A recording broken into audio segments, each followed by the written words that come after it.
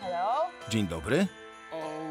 Proszę, podejdź. Nice to meet you. Miło cię widzieć. Ciebie również. Chodź, usiądź tutaj. Jak się dzisiaj czujesz? Bardzo dobrze. Cieszę się, że się widzimy. Słyszę, że potrafisz mówić po fińsku. Troszkę. Brzmi bardzo dobrze. Kiitos, kiitos. A ty, jak się dzisiaj trzymasz? Bardzo dobrze. Głównie dzięki temu, że jesteś tutaj ty. Jestem bardzo ciekawa twojej brody. Mój chłopak, Finn, też ma długą brodę i zastanawiam się, ile lat potrzeba, żeby taka długa mu urosła. Żeby być jak ty. Wiesz, już jakieś 200 lat temu zgubiłem moje nożyczki i tak już zostało. Okej, czyli 200 lat, mniej więcej. Czyli jeszcze musimy trochę poczekać. Tak, ale to szybko zleci. Ile masz zatem lat? Od 200 nie masz nożyczek, więc sam musisz mieć trochę więcej. To śmieszna historia. A w ogóle pamiętasz? Za każdym razem muszę liczyć od nowa.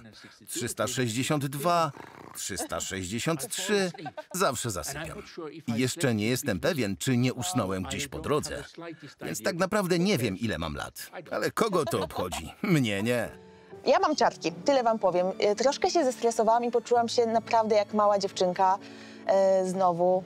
Jest to magiczny moment dla mnie i uważam, że jeśli ktoś e, może stracił tą wiarę, to warto przyjechać i tutaj odwiedzić e, Mikołaja może jeszcze raz, może ponownie, e, a może po raz pierwszy, bo naprawdę można poczuć tą magię świąt i to jest piękne. W tym momencie nie wyobrażam sobie mieszkania w innym miejscu na świecie. Stwierdziłam, że jest mi tutaj bardzo dobrze. Em, ta fińska niedostępność wcale nie jest taka niedostępna i ludzie są bardzo mili, przynajmniej dla mnie. Nie zaczęłam tęsknić za Polską, więc uznałam, że to jest jakiś znak, że, jest, e, że jestem na dobrym miejscu. No, życie napisało taki scenariusz i ja z nim nie będę w tym momencie negocjować. Mi jest tutaj dobrze i póki co chcę tu zostać jak najdłużej.